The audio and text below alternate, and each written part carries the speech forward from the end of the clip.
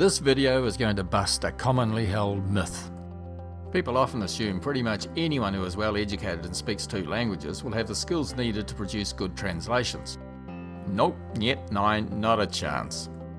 In fact, very few bilinguals have the combination of skills needed to be a professional translator. And this video is going to show you why that is.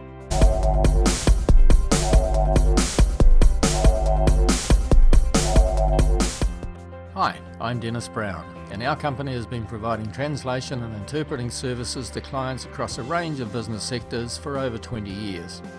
I'm going to quickly cover four essential skills translators need that will prove my point. First up, the obvious one advanced language knowledge. To translate well, you don't just need a good knowledge of the language you're translating from. Heck no. You need an excellent, advanced knowledge of that language. Why? Because without it, subtle and even not so subtle nuances of meaning will be missed.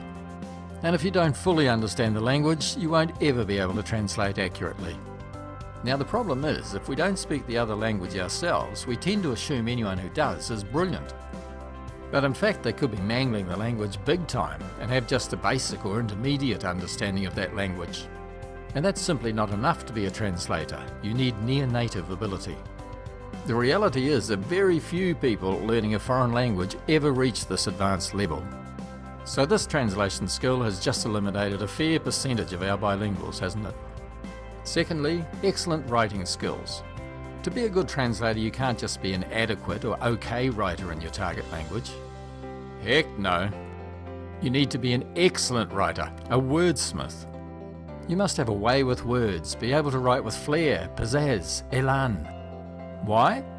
Because your texts need to impress readers across a variety of styles.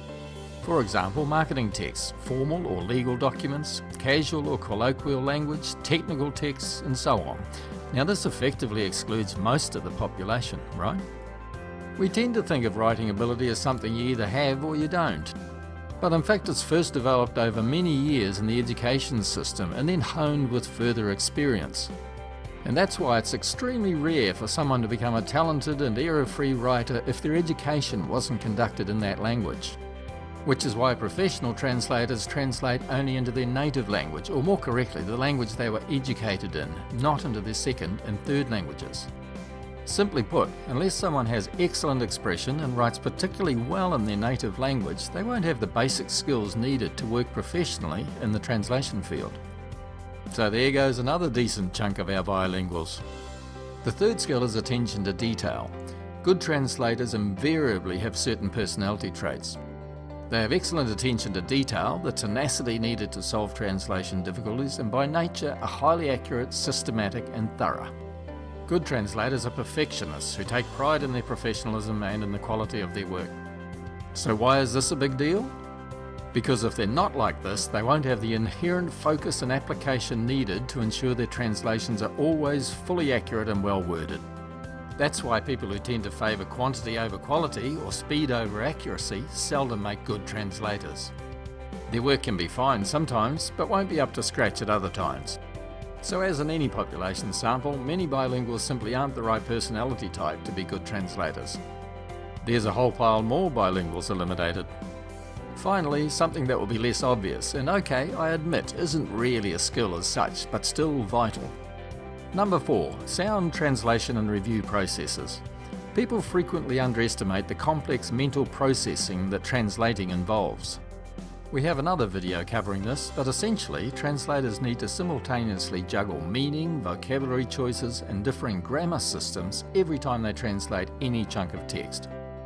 Doing that to correctly convey the required meaning and at the same time produce well-worded text, phrase after phrase after phrase without fail, is a challenging task. And the upshot of that is that unless translators use sound methodology, their translations can have shortcomings, sometimes serious. Essentially, they either won't be fully accurate and or well worded.